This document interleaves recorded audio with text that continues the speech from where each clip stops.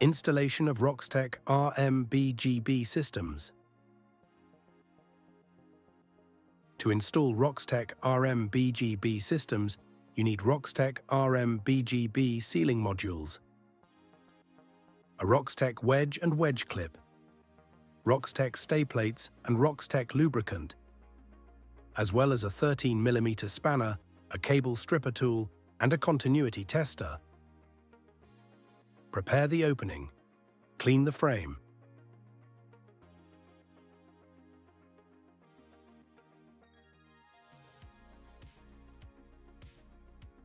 Ensure continuous electrical contact with protective earth. Prepare the cables. Hold the cable in its final position. Use a module half to mark where the cable jacket is to be removed.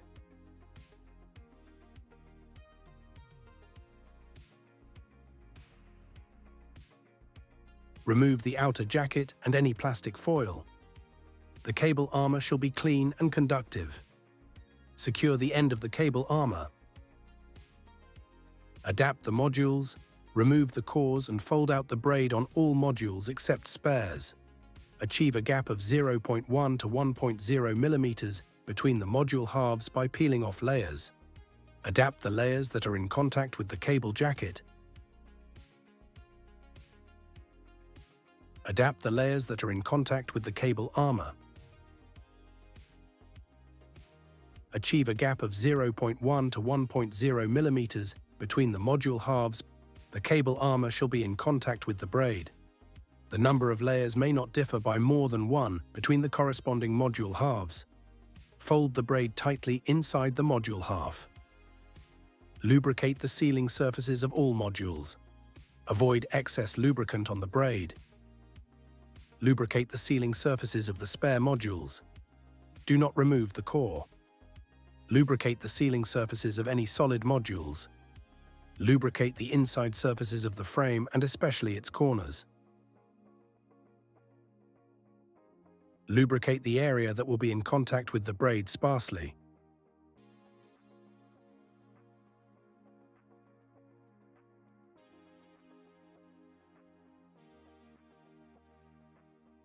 Install the modules. Place modules according to your packing plan. The cable armor shall be visible outside the module at the termination side. Place cables and the corresponding module halves on top. For pass-through cables, cable armor shall be visible on the termination side.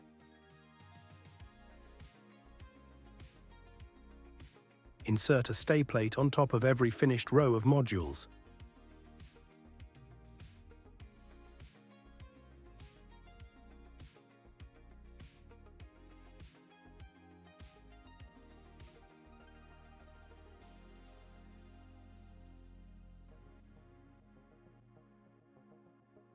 Ensure that the modules are secured within the stay plate edges.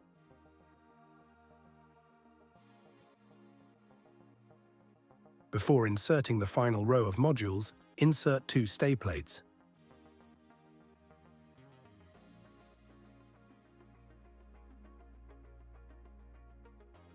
Separate the two stay plates and insert the final row of modules between the stay plates. Place the upper stay plate on top of the modules.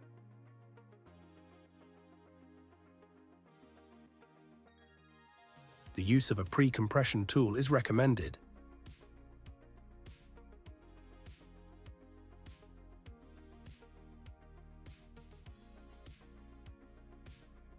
Tighten the seal.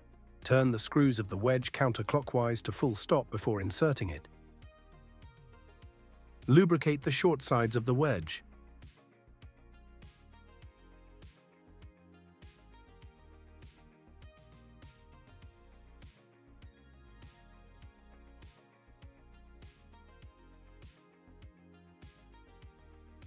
The wedge face marked stay plate this side shall face a stay plate.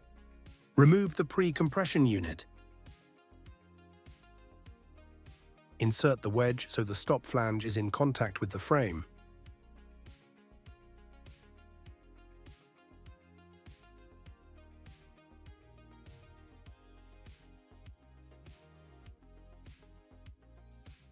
Tighten the screws alternately until full mechanical stop.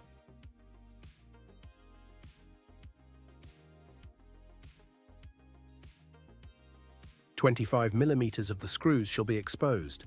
Attach the wedge clip to the wedge screws to complete the installation.